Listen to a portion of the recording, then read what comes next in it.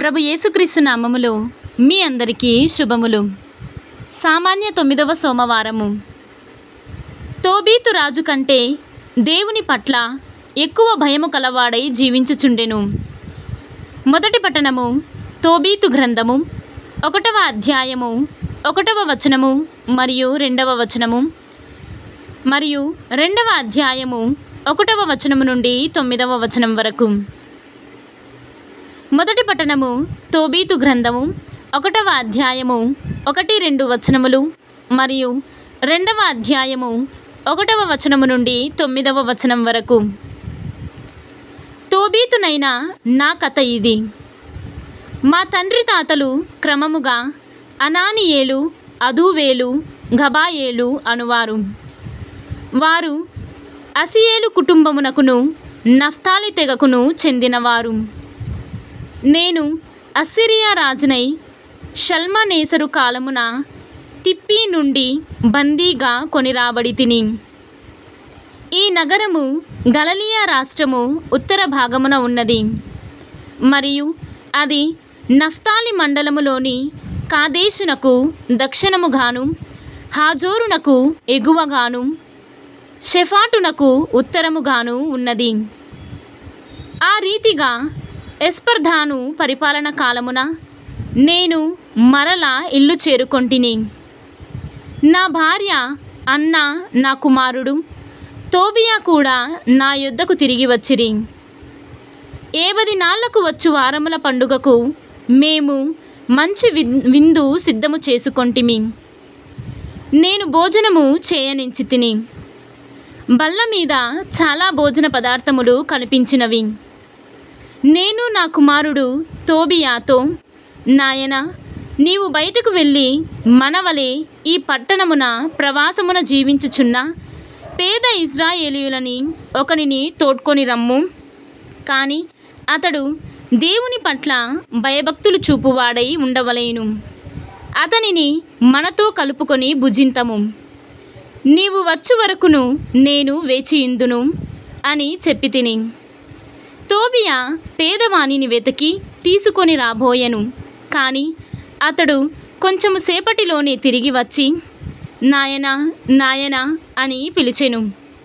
నేను ఏమి జరిగినదని అడిగి తిని. అతడు మన జాతి ఒక వానినొకనిని ఇప్పుడే గొంతు పిసికి చంపి సంత వీధిలో పడవేసిరి అని చెప్పెను. నేను భోజనము ముట్టుకొనకుండా వెంటనే లేచి వెళ్ళి తిని.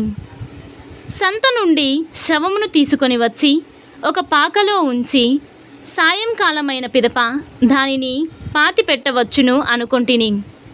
తరువాత ఇంటికి వచ్చి స్నానము చేసి శుద్ధిని పొంది తిని అటు పిమ్మట విచారముతో విందారగించి తిని అప్పుడు ఆమోసు ప్రవక్త బేతేలునను గూర్చి నీ పండుగలు శోకదినములగును.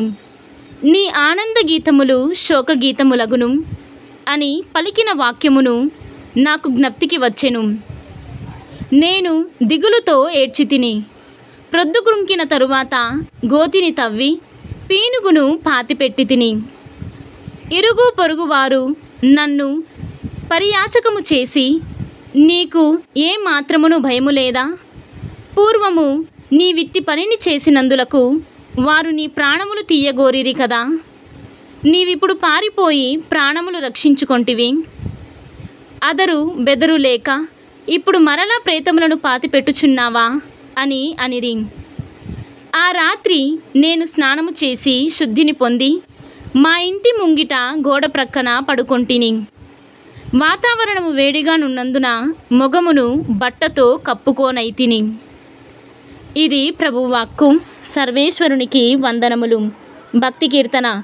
ప్రభువు పట్ల భయభక్తులు చూపువాడు ధన్యుడు. ఈనాటి సువిశేషము పునీత మార్కు గారు వ్రాసిన సువిశేషము పన్నెండవ అధ్యాయము ఒకటవ వచనము నుండి పన్నెండవ వచనము వరకు. యేసు ఉపమానపూర్వకముగా వారికి బోధింప ఆరంభించెను. ఒకడు ద్రాక్షతోటను వేసి దాని చుట్టూ కంచెను నాటెను. గానుగ కొరకు గోతిని త్రవ్వి గోపురము కట్టించి కౌలుదారులకు గుత్తకు ఇచ్చి దేశాటనము వెడలెను. పంట కాలమున ఆ కౌలుదారుల నుండి ద్రాక్షతోట పండ్లలో తన భాగము తెచ్చుకొనుటకై కౌలదారుల యొద్దకు తన సేవకునొకరిని పంపెను. కాని వారు యజమానుని సేవకుని పట్టుకొని కొట్టి వట్టి చేతులతో పంపివేసిరి. ఆ యజమానుడు మరి ఒక సేవకుని పంపెను. వారు అతని తలను గాయపరచి అవమానపరచిరి. అంతటా యజమానుడు మరి ఒక సేవకుని పంపెను. వారతనిని చంపివేసిరి. వారు అనేకుల ఎడల అట్లే ప్రవర్తించుచు కొందరిని కొట్టి మరికొందరిని చంపివేసిరి. ఇక మిగిలినది అతని ప్రియ కుమారుడు ఒక్కడే. అతనిని వారు తప్పక గౌరవింతురు అని తలచి వారి యొద్దకు పంపెను. కౌలుదారులు వానిని చూచి ఇదిగో ఇతడే వారసుడు.